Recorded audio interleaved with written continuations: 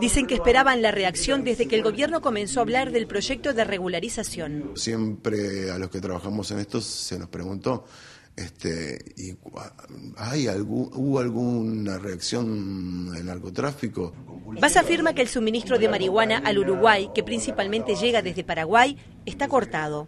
En Uruguay hasta ahora no lo habíamos notado. Hoy te puedo decir que se ha cortado el suministro de marihuana al Uruguay y que la estrategia del narcotráfico es cortarlo para lograr crear un mayor número de consumidores de otras drogas. Como por ejemplo pasta base, y afirma que la estrategia es para asegurarse nuevos mercados. Como ellos responden a intereses económicos, la manera de minimizar su pérdida es tratar de crear en el intervalo que hay entre el anuncio de la ley y la puesta en práctica el mayor número de consumidores de cocaína y pasta base posibles.